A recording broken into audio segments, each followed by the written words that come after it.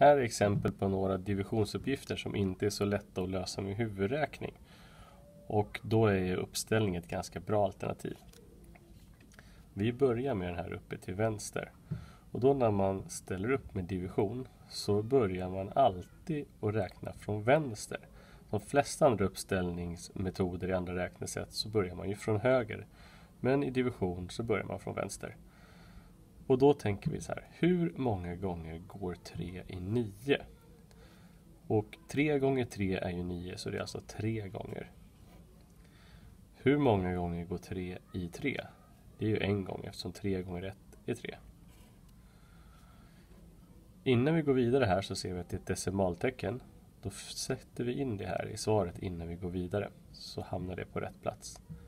3 går i 6 två gånger eftersom 3 gånger 2 är ju 6.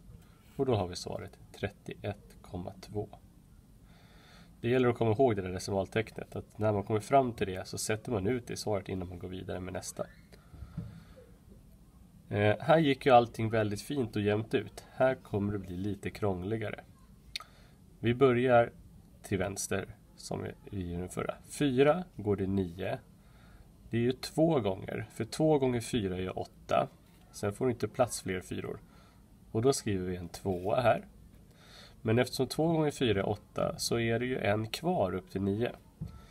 Och det blir en minnessiffra som vi sätter här. Då sätter vi den lite snett ovanför nästa. Den här ettan. Den som alltså blev över. För 4 gånger 2 är 8 men då är den över upp för att komma upp till 9. Eh, och då får vi talet 11. Vill man kan man ringa in den lite så här. Eller så bara tänker man att det blir 11. Och då kollar vi. 4 går i 11 då? Ja, det är fortfarande bara två gånger. För 4 gånger 2 är 8. Och tar vi en 4 till blir det 12, så det är för mycket. Så fortfarande 2. Eh, och det som blir över då, 4 gånger 2 är 8. Då är det 3 över upp till 11. Och det blir nya minnessiffran som vi sätter här snett framför tvåan. Den ska vi sedan lägga ihop så här med tvåan så att det blir 32. Men innan vi går vidare så har vi ett decimaltecken här, så det måste vi också sätta ut innan vi går vidare. Nu kan vi fortsätta. 4 går i 32. Ja, kan vi fyrans tabell? Ja, i så fall vet vi ju att 4 gånger 8 är 32. Så då har vi 8 här. Och det gick ju jämnt upp, så det behövs ju ingen mer minnessiffra nu här. Och då är svaret 22,8. Och den sista här.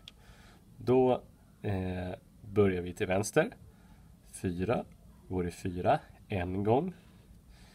4 går i 0. Ja, här är det ju faktiskt så att det är ju 0 gånger. 4 går ju inte någon gång i 0. Och då är det väldigt viktigt att man sätter ut den här nollan så att man inte tänker att man kan strunta i det bara för det är nolla. Den är otroligt viktig. Och efter det har vi ett decimaltecken. Sätter vi ut det där och sen går vi bara vidare. 4 går i 8 två gånger. Och då har vi svaret 10,2. Och då ser ni att hade vi låtit bli den här nollan hade svaret blivit 1,2 istället. Och det stämmer ju inte.